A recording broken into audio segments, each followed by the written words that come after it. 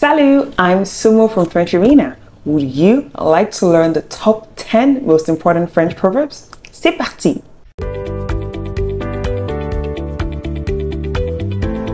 Now, if you would love to improve your French vocabulary, you would like to know phrasal verbs, idioms, and most definitely French proverbs. Proverbs give some form of life advice, and in most culture and languages, you definitely have proverbs. They really just help us reflect who we are and the values we stand for.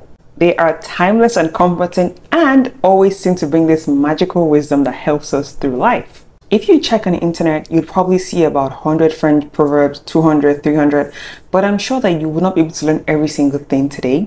And so, in today's lesson, I'm going to take you through the top 10 most used French proverbs. If this is your first time here, welcome. Thank you so much for clicking this video. If you like it along the way, please do not forget to give it a thumbs up, subscribe, and share with anyone else who would like to learn more about the French language by learning the French proverbs. Number one, il n'y a que les imbéciles qui ne changent pas d'avis. And this literally means only fools will never change their minds. It's equivalent to saying a wise man changes his mind, only a fool never will. So we really use this proverb to probably justify stubbornness. Maybe if somebody is being stubborn and they're staying put, they don't believe in changing their minds on a certain topic or something they have always believed in. And so opinions may vary, but even when some people are sticking to a particular thing they've heard before, even when they have proof that it's different, you can then use this proverb to explain to them that only fools will never change their mind. So for example, if I was telling a friend of mine to read a particular book that I believe would help her maybe to get a job or to learn the French language better, whatever the book might be about. And she has been proven stubborn for a while, saying, No, Sumo, I don't believe in reading books. I believe there's another way I could find the information I'm looking for. I could then use the sample sentence. Je pensais que tu ne voulais pas lire ce livre. And she could then say, Ah non, il n'y a que les imbéciles qui ne changent pas d'avis. Which obviously means she's realized that reading the book might be good for her. Let's take a look at the second French proverb. Number two, à raconter ses maux, souvent on les soulage. And this is just a problem shared as a problem how solved. So basically, if somebody's having issues or the person you can see that he or she is not in a good mood, has a long face, you're not quite sure of what exactly is going on, you can use this proverb and tell the person, why don't you share with me what your issues are? And so perhaps my friend then decides to share with me. I could say to her, Oh, je pensais que tu ne voulais pas partager avec moi. And then she can say, à raconter ses maux, souvent on les soulage. And so she just basically understands that by recounting one's ills, one often solves them. Number three, à vaincre sans péril, on triomphe sans gloire.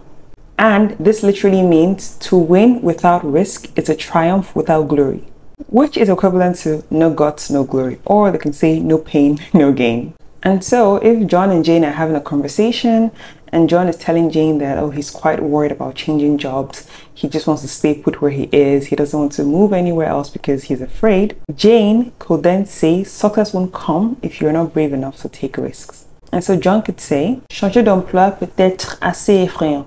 And Jane could say, oui, je sais, mais à vaincre sans péril, on triomphe sans gloire. Number four, il ne faut jamais dire, fontaine, je ne boirai pas de ton. And this just literally means you should never say, fountain, I would never drink your water.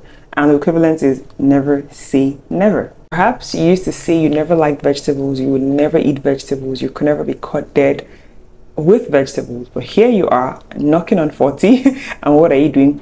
Actually having vegetables with your meals every day. Even going a step further by actually having celery juice every single morning. So you see where the proverb comes in. Never say never because you don't know what the future is going to hold.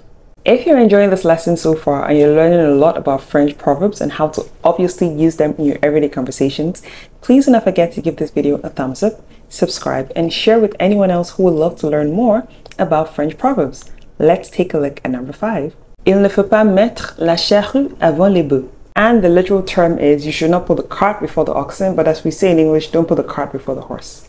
And this proverb comes from the 15th century, from what I researched, and it just basically means that you shouldn't go so fast that you fail to do things in a certain order. So it's often used to temper someone's enthusiasm and just remind them to calm down and start from the beginning. And so let's imagine two friends are talking and friend A just keeps talking about, oh my goodness, he's so happy, he can't wait till he gets the money. Once he gets the money, he'll get a car, he cannot wait to do this and do that.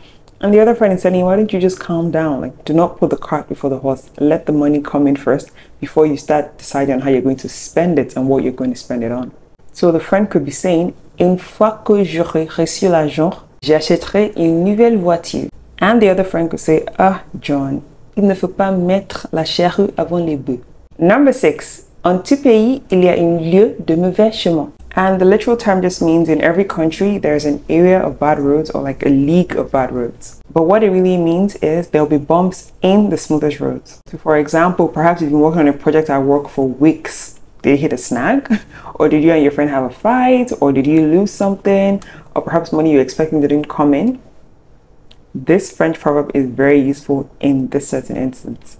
For example, I could say, Je ne peux pas croire que ma valise n'est jamais arrivée. And my sister could tell me, en tout pays, il y a un lieu de mauvais chemin. Number seven, quand le vin est tiré, il faut le boire. And this literally means when the wine is drawn, one must drink it. but the equivalence is once the first step is taken, there is no going back. Just keep moving. So once you decided to learn the French language, there's no stopping. Just continue learning. So for example, I could say, Je n'arrive pas à croire que j'ai signé un bail. And my sister could say again, Quand le vin est tiré, il faut le boire. But of course, I hope you know that this French proverb could actually be taken literally because if you have already opened a bottle of wine, you might as well drink it, right? What are you waiting for? And if someone should ask you do I need to finish drinking it, then tell them the proverb. Quand le vin est tiré, il faut le boire. Right? Let's take a look at the next one. Number eight, petit à petit, l'oiseau fait son nid. And this just literally means little by little, the bird builds its nest or makes its nest. And the equivalent is the slow and steady win the race. This just reminded me of my of one of the childhood stories of I think the turtle and the rabbit. Have you heard about it or have you read it before? If you have, tell me in the comment section below. So perhaps you've been saying, I cannot wait to be fluent in French. I want to visit Paris. I want to visit Marseille. I want to go to every single francophone country in this world, and I want to just speak to natives and just be be dreaming in French, eating in French, speaking every single thing should be in the French language. And so perhaps you're constantly saying, J'ai hâte de parler couramment le français. And I would say, petit à petit, l'oiseau fait son which just means calm down, slow and steady win the race. You will become fluent. You'll be able to speak French every day of your life and you would love the language even more. So just calm down and you will get there.